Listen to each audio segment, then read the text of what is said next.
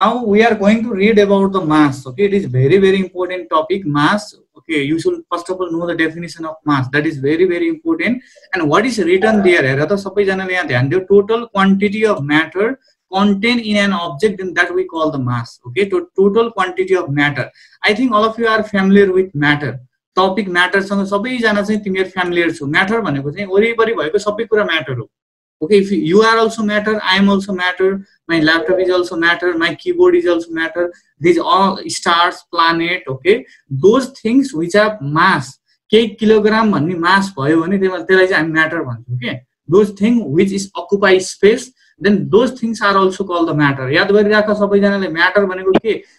You're reading in class five also anything which occupy space and has mass then those substances are call the matter यो वरिपरि भएको सबै चिज matter हो तर केही चिज बाहेक some things are there okay which are not call the matter remember this point okay some like some substances are there which are not called as matter like light okay sound shadow your shadow you know shadow shadow means when you block the light then shadow is formed behind your body then that is called shadow and my sound is also not matter because why it is not called the matter means because sound cannot be measured sound do, doesn't have any mass okay it does not occupy space. Space भनेको चाहिँ कुनै पनि खाली ठाउँ चाहिँ occupy गर्नु भनेको बुझ्यो बुझ्दैन जस्तो अहिले म यहाँ कुर्सीमा बसिरहेको छु I'm sitting in the chair means I'm occupying the space here one some certain place of my room एउटा म सर्टेन प्लेस चाहिँ रुमको अकुपाई गरिरहेको छु भने त्यसलाई हामी स्पेस अकुपाई भन्छ। क्या म्याटर हुनुको लागि दुईवटा प्रोपर्टी चाहिन्छ। याद गरिरहेको सबैजनाले ध्यान दिने है that means one means it it must have mass it must occupy some space okay that substances we call it is a matter there are three example I will give only three examples other examples are also there just like light sound and your shadow these things are not called the matter यिनीहरूलाई चाहिँ matter भनिँदैन and the total quantity भनेको चाहिँ remember this point quantity and quality there is like Aawas Bhattarai is very talented boy okay Aawas Bhattarai is very okay gentle boy okay like Aakriti Jha is very gentle girl okay then that will that will the quality quality भनेको चाहिँ कुनै चिज कतिको राम्रो छ होइन?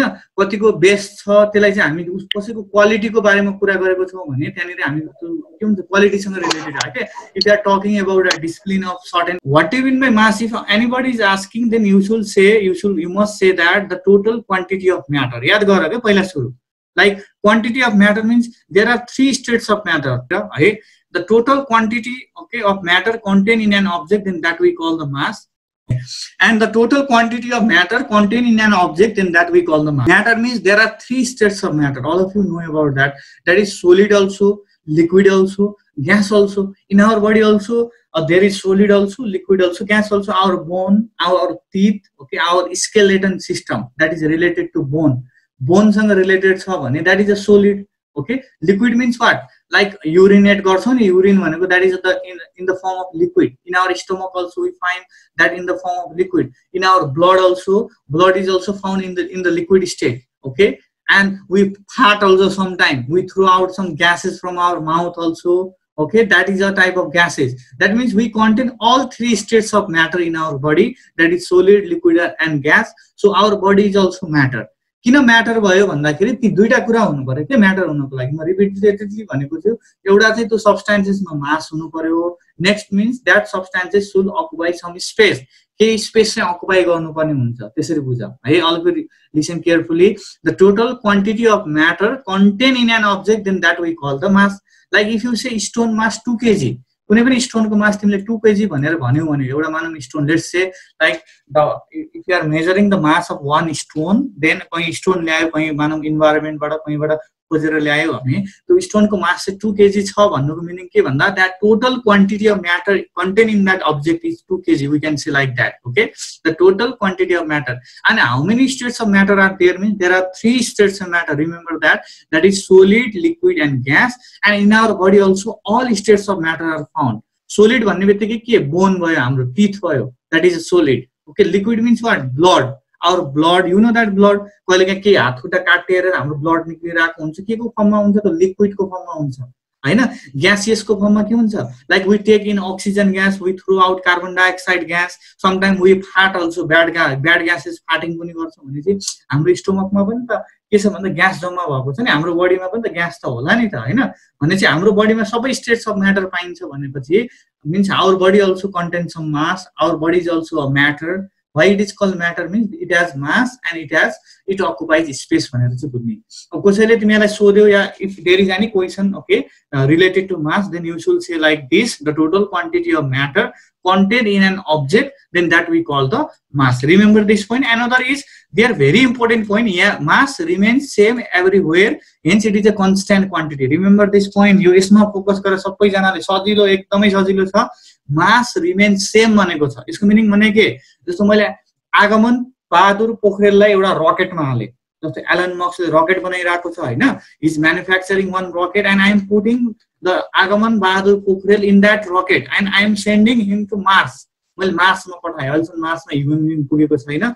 फर्स्टचोटि पुग्नेको रहेछ भन्दा हाम्रै क्लासबाट चाहिँ आगमन बहादुर पोखरेल रहेछ भित्र अक्सिजनहरू हालेर सबै सेटलमेन्ट गरेर चाहिँ मैले यहाँबाट उसलाई चाहिँ उहाँ पठाइदिएँ। अनि मैले अर्थमा चाहिँ उसको मास नापेको थिएँ। कति थियो भन्दाखेरि तिम्रो thirty five KG forty KG थियो होला। मानव मैले लकडाउनको बेलामा अलिक धेरै खाएर चाहिँ पाँच किलो चाहिँ वेट बढेर के अरे मास बढेको रहेछ फोर्टी फाइभ केजी भएको रहेछ भने उसलाई चाहिँ तिमीले मार्समा लग्दाखेरि पनि उसको वेट सेम के अरे मास चाहिँ सेम नै हुन्छ कि?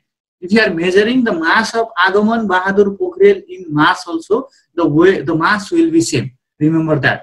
है मास चाहिँ के हुन्छ भन्दाखेरि सेम भइरहेको हुन्छ याद गर है mass remains same everywhere and hence it is a constant quantity and uh, mass is measured in kilogram remember that mass is measured in kilogram and the SI or the MCAS unit of mass is kilogram you know that okay SI system भनेको पनि थाहा छ MCAS system भनेको पनि तिमीलाई थाहा छ अगाडि हामीले पढिसकेको कुरा केमा मेजर गरिँदो रहेछ भन्दा किलोग्राममा अनि why mass remain same everywhere and hence it is called constant quantity. What does it mean? यसको मिनिङ चाहिँ के हो त भन्दाखेरि तिमी यो संसारमा कहीँ पनि गयो जस्तो मेरो मास मानौ सिक्सटी केजी छ भने म मुनमा गयो भने पनि मेरो मुनमा गएर तिमीले मास नाप्यौ भने पनि मेरो सिक्सटी केजी नै हुन्छ क्या बुझ्यो नि? यो संसारमा तिमी अमेरिकामा जाऊ माउन्ट एभरेस्टको टुप्पोमा जाऊ या समुद्रको भित्र बस्छ जहाँ बस्छ तिम्रो के हुन्छ? मास चाहिँ के हुन्छ भन्दा तिम्रो एक्चुअल मार्क्स चाहिँ मास चाहिँ कहिले पनि डिस्ट्रोय हुँदैन कन्सट्यान्ट हुन्छ।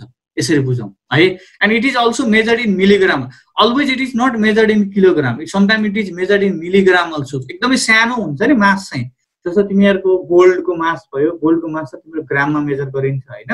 And other like when you are doing any type of scientific experiment then you need to measure like very smaller substances also in that case you use which type of unit means milligram you use okay gram also you use okay quintal also quintal भनेको फेरि ठुलो यो चाहिँ जुन हामीले चामलको बोरा हुन्छ नि एक बोरा दुई बोरा त्यो चाहिँ हन्ड्रेड केजीसम्मको हुन्छ one quintal equals to hundred KG remember this point also and quintal metric ton means these are okay that means mass like kilogram is also bigger unit of mass but milligram gram centigram these are some smaller unit of mass you, should, you need to know this okay and all of you know that uh, generally mass is measured by using beam balance remember that okay generally mass is measured uh, by using beam balance you can see beam balance also side मा देखिरहेको होला हेर त beam balance देखेको छ कि नै side मा हेर येलो कलरको देखिरहेको छ कि नै this is the beam balance this is the beam balance remember this point okay beam ब्यालेन्सको बारेमा हामी पछाडि पनि पढ्छौँ डिटेलमा okay and generally mass is measured by using beam balance sometime it is measured by using grocers balance grocers balance भनेको चाहिँ यस्तो ब्यालेन्सलाई भनिन्छ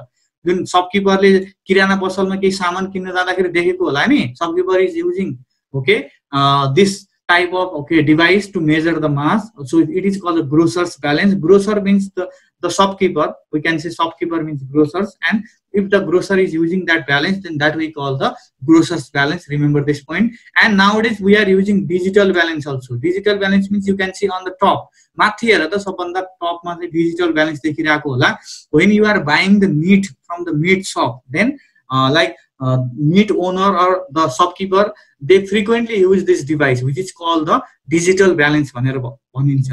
अनि तिम्रो के हुन्छ भन्दाखेरि जुन सुन पसले हुन्छ नि like they are call the gold smith like those shopkeeper like okay we use to sell the gold or silver or like any ornament uh, related substances then they use what physical balance physical balance use गर्छ साइन्टिस्टले पनि physical balance नै use गरिरहेको हुन्छ why they use physical balance sometimes there may be question also in examination also or sometimes any person may ask you then in, in that case you should write that it is more sensitive sensitive भनेको चाहिँ के हुन्छ यसले सानो मास नाप्यो भने त्यसलाई हामी सेन्सिटिभ भन्छौँ याद गर है physical balance okay measure very small mass एकदमै सानो जस्तो तिमीले एक तोला दुई तोला भन्छौ नि हामीले सुनमा चाहिँ one carat two carat like purity of gold is measured in क्यारेटमा measure गर्छु। ट्वेन्टी फाइभ ट्वेन्टी फोर क्यारेटको गोल्ड भयो भने त्यसलाई हामी प्योर गोल्ड भनेर भन्छौँ भनेपछि त्यो एक तोला भन्नेमा लगभग तिम्रो टेन ग्राम हुन्छ कि याद गर। ग्राम भन्ने बित्तिकै एकदम स्मलर युनिट भयो नि त त्यसको लागि त के हामीले पुरा हाम्रो त्यो सबकिपरले युज गर्ने ठुलो बिम ब्यालेन्स त युज गर्न सक्दैनौँ नि। त्यसको लागि के चाहियो भन्दा सानो खाले बिम ब्यालेन्स हुन्छ जुन एकदमै सेन्सिटिभ हुन्छ। Sensitive means it can measure very smaller mass also okay and accurately also you should measure the mass चाहिँ एक्युरेटली मेजर गर्नु भनेको छ। आखिर गोल्ड स्मिथ भनेको बुझ्यौ नि तिमीहरूले those person who use to sell the gold not only gold like silver also ornaments अर्नामेन्टहरू sell गर्ने हुन्छ नि। बाटोमा पसलहरू त देखाएको छौ नि। मैथी देवी जाऊ तिमी जहाँबाट छौ त्यहाँनिर तिमीले जुन पसलेहरूले त्यहाँ एउटा सानो तिमीहरूको के गर्छ भन्दाखेरि यस्तो मेजरिङ डिभाइस राखेको हुन्छ। क्या? त्यसलाई हामी के भन्छौँ? That we call the physical balance okay why they use the physical balance means because that is sensitive what is the meaning of sensitive mean sensitive means it can measure very smaller unit also smaller unit of mass in milligram also in gram जस्तो gold त एकदमै महँगो पर्छ होइन तिम्रो एक ग्रामकै कति हजार पर्न सक्छ एउटा मिलि सानो मिलिग्रामको पनि बढी हजार पर्न सक्छ नि त पैसा पर्छ त्यो कारणले त एकदमै एकुरेटली मेजर गर्नु पर्यो त्यसलाई त्यसको लागि के युज गर्छ गोली गोली स्मिथ या साइन्टिस्टहरूले भन्दाखेरि तिम्रो फिजिकल ब्यालेन्स चाहिँ युज गरिरहेको हुन्छ। They use to use the physical balance physical balance चाहिँ युज गरिरहेको हुन्छ। यसमा चाहिँ ध्यान दिनु पऱ्यो है sound problem most of you are writing no need to take tension just listen carefully I will keep this in YouTube युट्युबमा राखिदिन्छु। त्यहाँ फेरि एकचोटि हेर रिपिटेडली हेर। Okay in my YouTube channel I will put this है? ल। Okay now this much for today आजको लागि हामी यति नै गरौँ। तिमीहरू